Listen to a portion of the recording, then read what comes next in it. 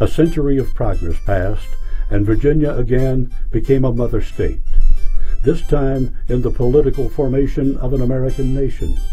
Its sons were leading voices among the founding fathers. Patrick Henry issued the famous call for liberty. Thomas Jefferson wrote the Declaration of Independence. George Washington led the American armies to victory. James Madison was chief architect of the U.S. Constitution. John Marshall became the greatest of the Chief Justices of the Supreme Court. Six of the first ten presidents of the United States were Virginians. For 40 years, the new nation, including Virginia, enjoyed uninterrupted progress. Agricultural productivity increased steadily.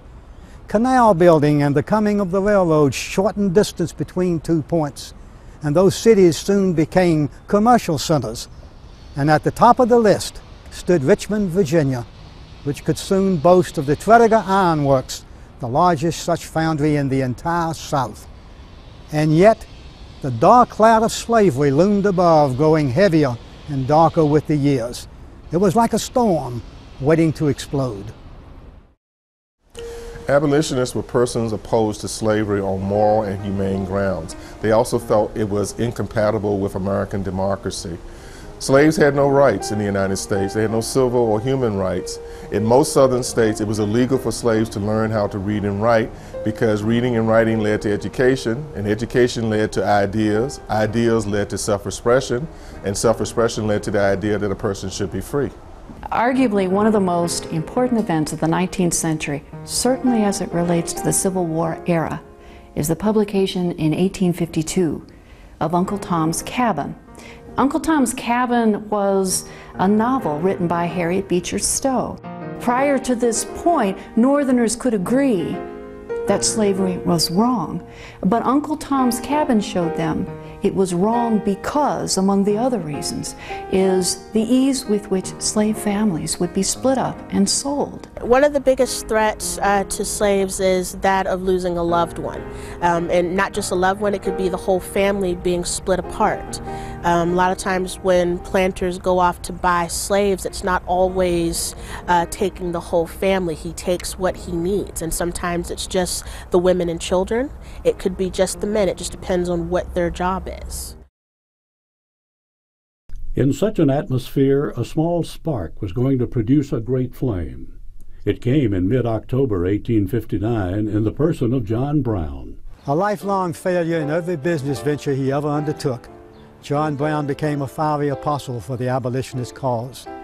He convinced himself that the elimination of slavery could only come through the shedding of blood. On a rainy night in October 1859, John Brown came here to Harper's Ferry. Brown and his band took refuge in the small fire engine house here at Harper's Ferry. The detachment of Marines sent up from Washington stormed the building and with club muskets and bayonets easily put down the insurrectionist. Brown was quickly tried and convicted, and just as quickly publicly hanged at nearby Charlestown on December 3, 1859.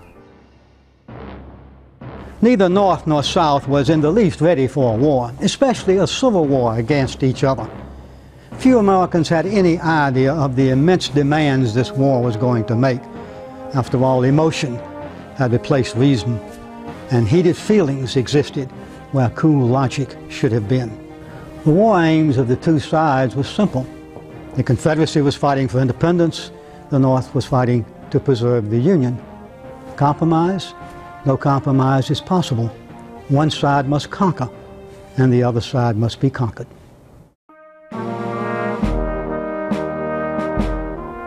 Few days after Virginia's secession, Governor John Letcher named Robert E. Lee to command all of the state's military forces. Lee was a nationally recognized soldier with 30 years Army experience. He had a first-rate mind and a dignified bearing. Lee had become a Confederate because his native country, Virginia, had followed that course. Before the military operations could resume, Virginia was witness to a big step in naval history. And in March of 1862, Confederate Navy Captain Franklin Buchanan took what had been the USS Merrimac, but was now the CSS Virginia, out into Hampton Roads and attacked and destroyed two Union warships. But the North knew this was happening, and so they were building an ironclad too, and it arrived that same night, the night of the 8th of March, 1862.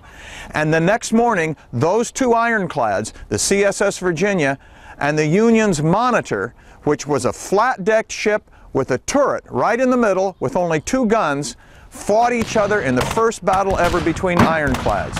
They fought all afternoon, and neither one succeeded in doing serious damage to the other, so that it was a tactical draw. But at the end of it, the Union was able to stay in Hampton Roads and continue to maintain its naval superiority. The Union offensive was barely underway when word came from west of the Blue Ridge that would force Washington to change his plans and withhold almost a fourth of McClellan's army to protect the capital. Out in the Shenandoah Valley, Stonewall Jackson, with a force barely large enough to be called an army, was wreaking havoc. First two Yankee armies were sent against him, one from the north, one from the west. He beat first the one, then the other. In six weeks, Jackson would march his army nearly 600 miles, fight five battles, capture innumerable tons of supplies, and send 60,000 Federal soldiers reeling in retreat, and all with his own army of barely 15,000 men. Jackson had turned around the war for Virginians in the spring of 1862, and he'd shown that while he could stand like a stone wall at Manassas, he could move like the wind in the Shenandoah.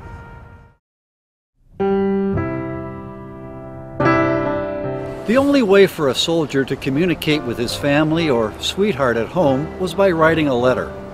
More written correspondence occurred during the American Civil War than at any other time in our history. Handwriting was usually crude, and men often spelled the words the way they pronounced them. Still, there was nothing more precious to a soldier's eyes than receiving a letter from home. Next to letter writing, music was the most uh, popular diversion for soldiers north and south.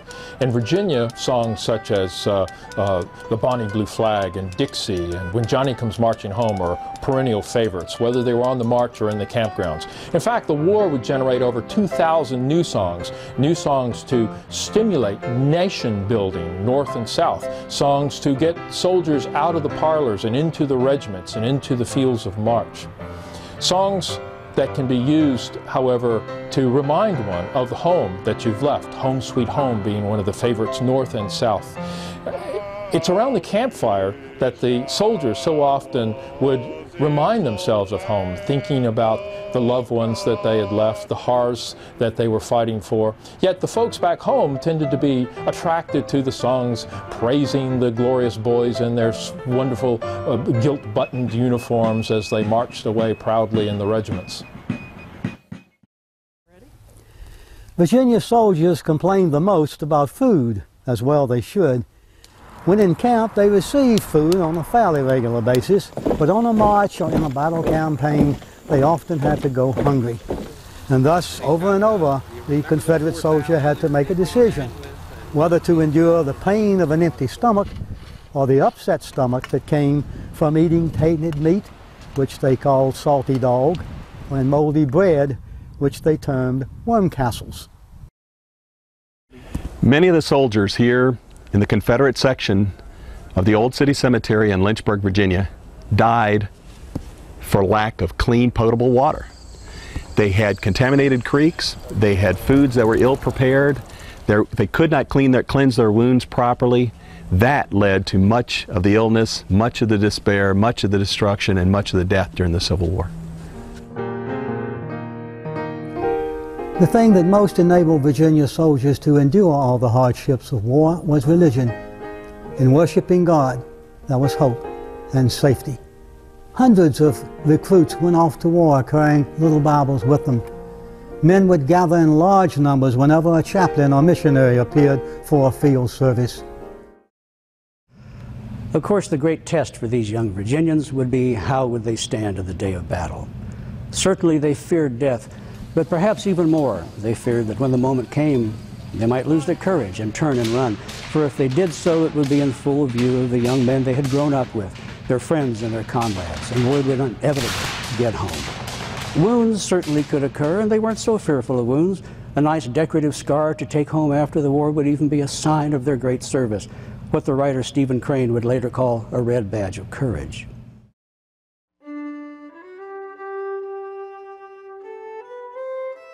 This is the parlor of the Wilmer McLean home at Appomattox Courthouse.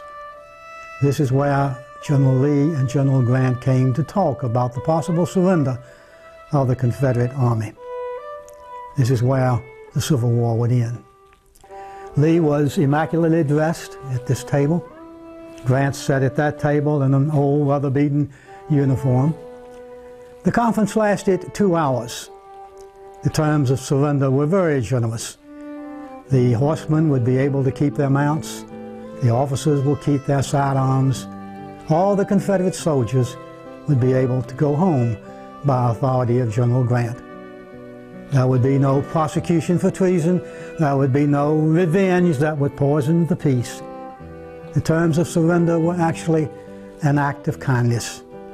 And General Grant made it so when that afternoon he issued a short announcement to his army.